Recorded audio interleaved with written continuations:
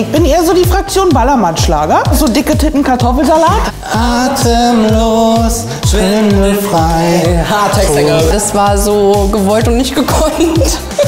Boah, bin ich enttäuscht. Das war so, wo ich dachte, irgendwas ist ja komisch.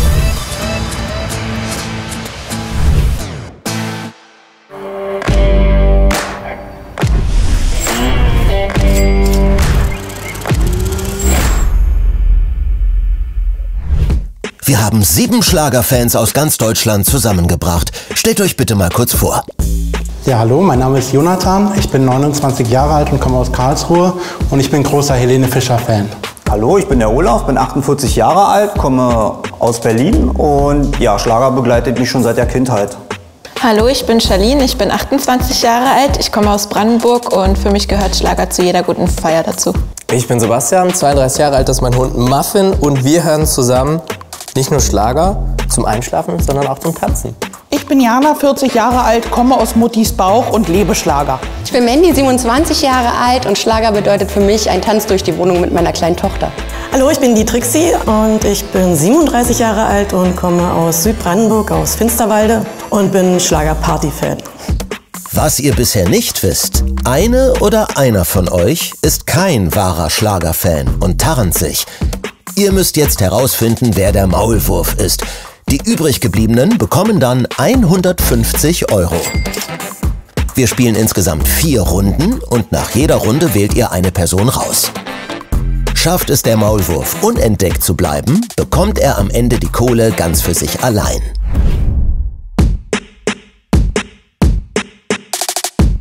Und schon Karten geholt für Helene? Fürs nächste Jahr, ja. In Karlsruhe.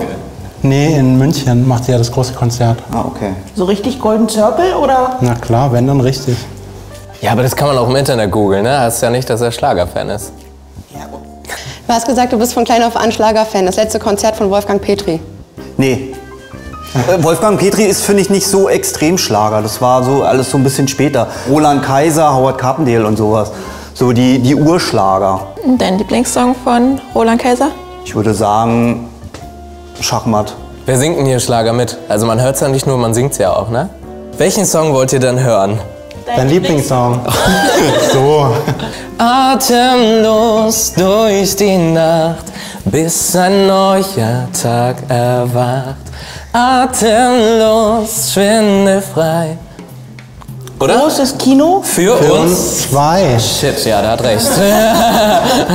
okay. Ja, ist aber jetzt auch keine Kunst, weil seit der Fußball-WM äh, haben ja alle diesen Song äh, gesungen, ne? Ich singe nur Schlager mit, wenn ich wirklich auf Party bin und die Musik im Hintergrund höre und mitgrölen kann. Deswegen Schlager-Party-Fan und nicht Ist dir das etwa auswendig. peinlich sonst? Nicht peinlich, aber ich merke mir die Texte meistens nicht. Was machst du denn beruflich? Ich bin bei der Müllabfuhr. Ja, die hören Schlager. Was war euer letztes Konzert? Letztes? Ja. Äh, Helene Fischer auch, ja. Ich war noch nie auf einem Konzert. Auf gar keinem. Warum nicht? Weil ich keine Zeit dafür habe. Also ich finde, dass Charlene, ne? Ja. Sehr ruhig ist.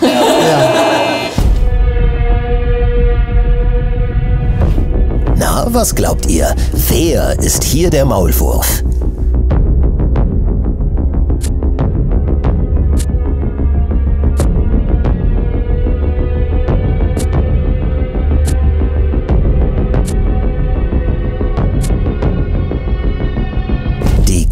Verlässt bitte Trixie.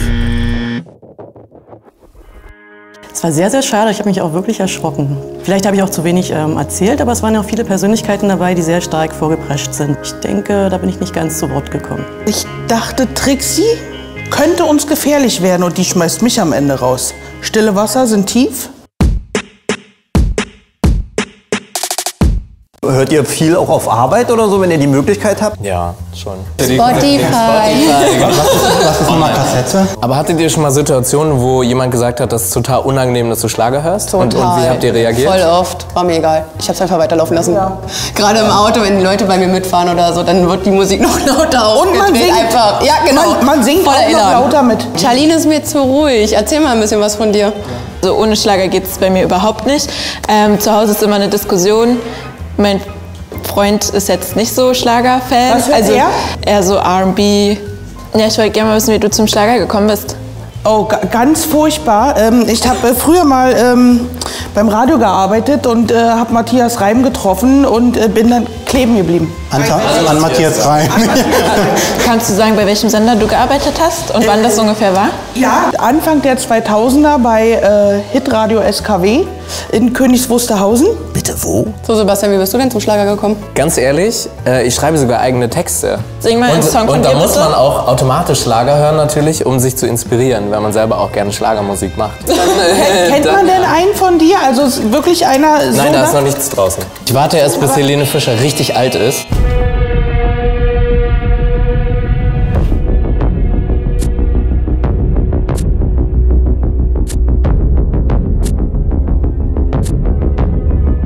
Wir haben Gleichstand, das heißt, wir müssen ein Stechen machen. Ich nenne euch jetzt die beiden Namen, die gleich viele Stimmen bekommen haben. Charlene und Olaf. Bin ich enttäuscht. Tretet bitte nach vorne. Wer denkt, Charlene ist unser Maulwurf? Wer glaubt, Olaf ist unser Maulwurf? Olaf, du bist leider raus. Aber nimm unser Müll noch mit. Ich tippe, dass das Optische so ein bisschen ähm, verwirrt manchmal. Dass es nicht so rüberkommt, weil ich halt nicht so ein knallbunter, lauter Typ bin, wo viele mal denken, das gehört so zur Schlagerszene. Ich bin mehr so der am Tanzflächenrand, der mitschaukelt so. Aber ich gröl auch ganz gerne mal mit, den Refrain. Mehr geht nicht. Ich möchte jetzt richtigen Schlagermove sehen von dir. Ein Schlagermove. Ich glaube, den wollen wir alle sehen. Cordula Grün. Hey. Ich hab dich, ich hab dich. Ja, ich hätte jetzt eher einen Foxtrot oder so erwartet. Aber ich fand ihn sehr amüsant. Weil bei dir bin ich noch ganz schön skeptisch. Atemlos, schwindelfrei. Hardtextsänger. Wenn man so ein Fan ist von Helene, dann kennt man gerade den Song in- und auswendig. Und ja, das war so, wo ich dachte, irgendwas ist ja komisch. Das ist Kino für uns zwei. Das war so gewollt und nicht gekonnt. Wer war schon mal im ZDF-Fernsehgarten? Sorry, aber ja. warte, warte, warte, kann ich stoppen. Wer war schon mal bei immer wieder sonntags? Was immer wieder sonntags kommt die Erinnerung. Du siehst zu brav aus. Was machst du beruflich? Ich äh, arbeite in einem Elektrounternehmen. Nee, Okay. niemals. Ich bin ja immer wieder auf meinen Anzug drauf angesprochen worden, wo es ja hieß, so total untypisch Schlager, so Bankassistentin. Manchmal drückt der Schein dann doch mehr. Wie bist du zum Schlager gekommen? Von klein auf an, durch die ganze Familie, mit meiner besten Freundin, die Eltern haben von klein auf an immer den Schlager gespielt auf allen Partys, komplett.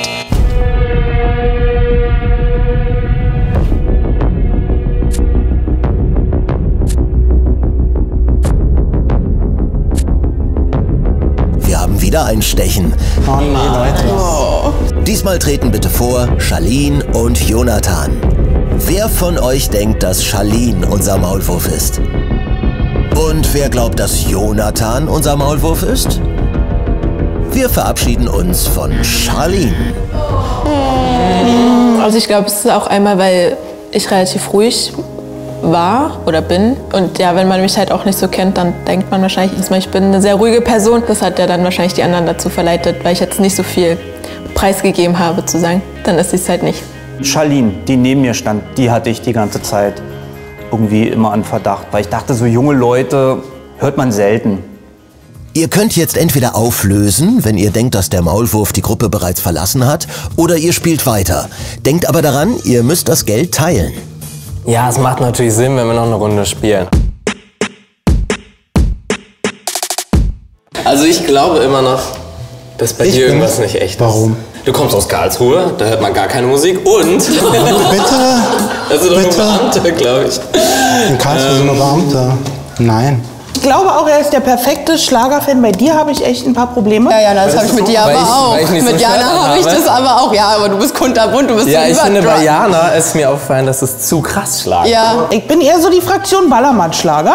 Dicke Titten, Kartoffelsalat. Sieht man den da schon mal auf dem Ballermann? 20, 25 Mal?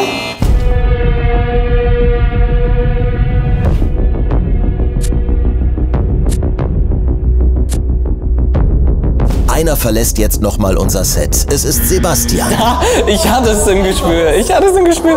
Als ich rausgewählt wurde, dachte ich so, ha, da ist man einmal offen und gut drauf und fröhlich. Da denken alle, ja, das ist doch gefaked, das kann doch nicht echt sein. War ein trauriges Gefühl auch ein bisschen.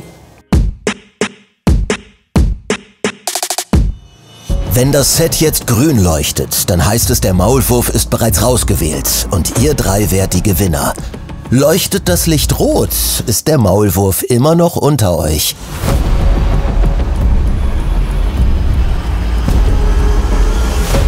Nein. Krass. Also Maulwurf, gib dich zu erkennen. Sorry, es tut mir leid.